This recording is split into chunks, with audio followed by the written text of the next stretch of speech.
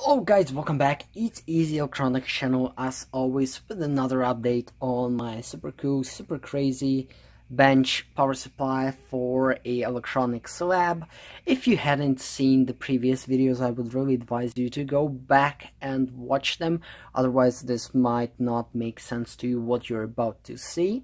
So in this video, we will be doing a couple things. So first of all, I want to uh, work on the front panel. We're going to cut out some holes for the screens and I will be installing some things on the front panel uh, so we will get a first look at how the front panel will look with all the switches and everything. So let's get right into the video and you'll see what I had achieved so far. So I am back and I got more exciting things to show you. So I have finally secured the power supplies in place. As you can see, they're not going anywhere. And I did that by adding a couple of stoppers. If I only could focus. So, as you can see, I have added uh, rubber stoppers here and uh, there. Okay, so they are uh, the sides are squeezing the power supplies and they are not going anywhere whatsoever so they are nice and secure inside and easy to take out if I have to. So that is that. The extra cables are tucked inside uh, by the side there, so they're nice and neat. Uh, the airflow can easily get into the power supply and out, and the same thing on top, into the fan and out on the back. Here are uh, the bottom. So we got nice uh, soft pads on the bottom. So on the front we have no uh, front panel because I have it in my hands and here it is. I was working on it really really hard and here it is. So let me just focus on it. So we have all the necessary holes.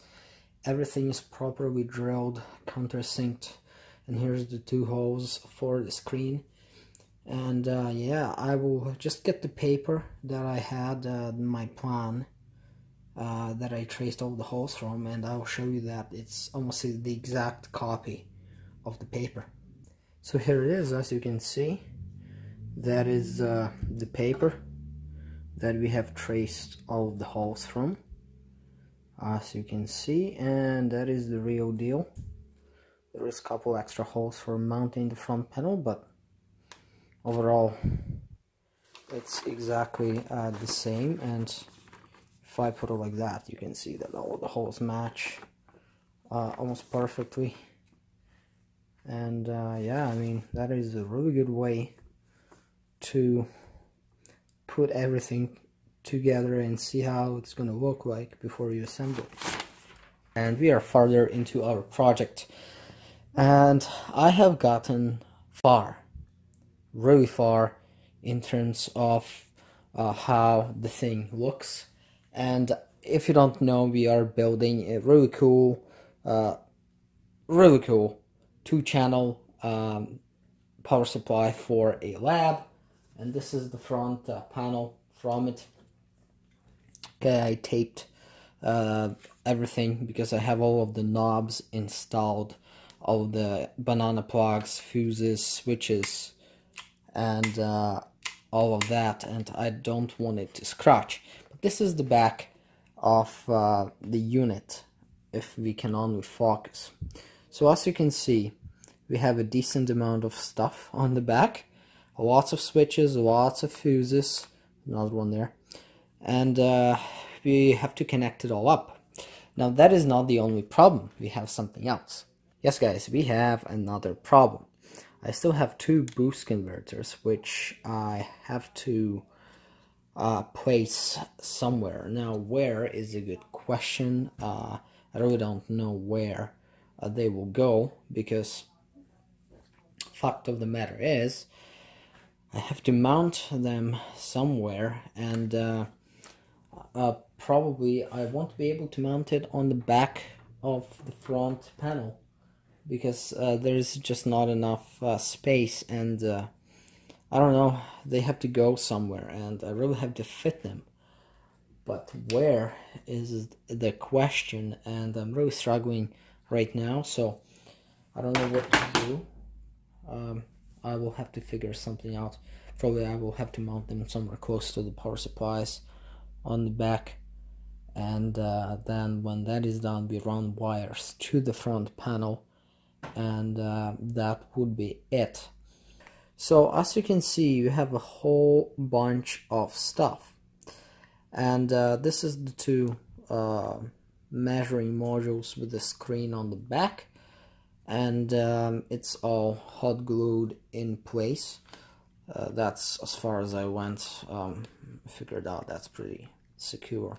I might add some silicone later on but that's it for now we have uh, two pots for each channel current and voltage. Hadn't decided which one will do what but we can always change it. No big deal.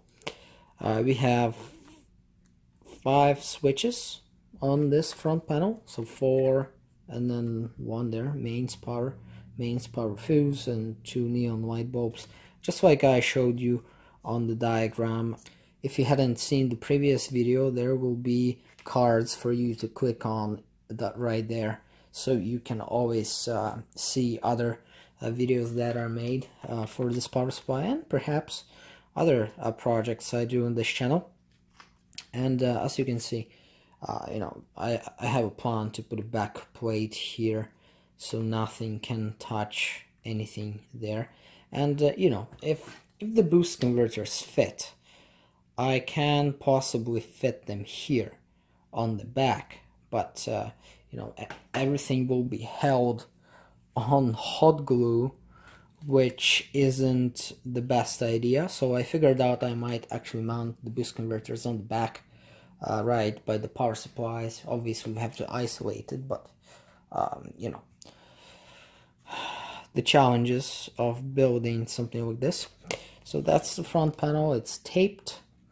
A nice matte finish okay uh, fuses there's four switches here as I said before and uh, potentiometers I can actually show you the potentiometers right here.